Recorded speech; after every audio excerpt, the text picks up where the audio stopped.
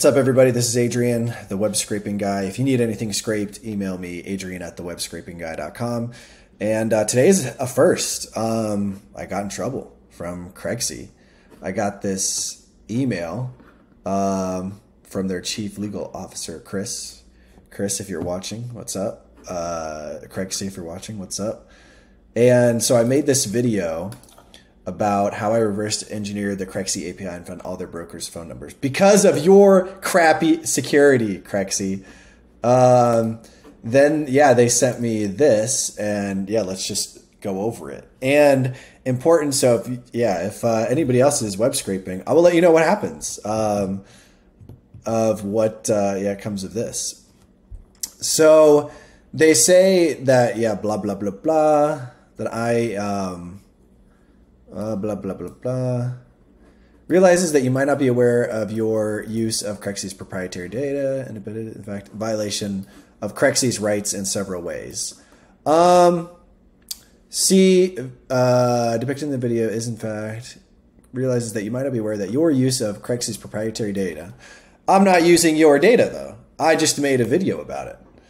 Uh, first, to access the Crexi's database, a user must create an account that's false. Uh, that data is publicly available, which I already um, showed. And it phone numbers shouldn't be publicly available, but you guys suck at your jobs, and it is. So uh, don't blame me for that. Um, then blah blah blah blah. Limiting Crexi solely for your own internal business purposes.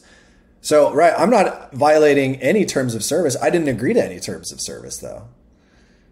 So, yeah, that, uh, and I, I'm just, I'm just showing people how to do it. I'm not sure if that is uh, against any laws.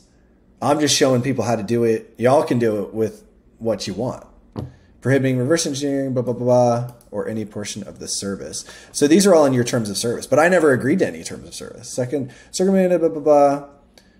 Right. So I'm going to send them a message back and say these exact same things, and we'll see how it goes.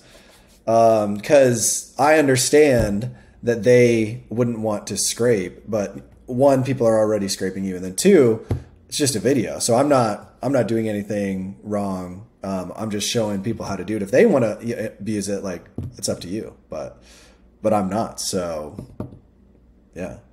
So we'll see how it goes.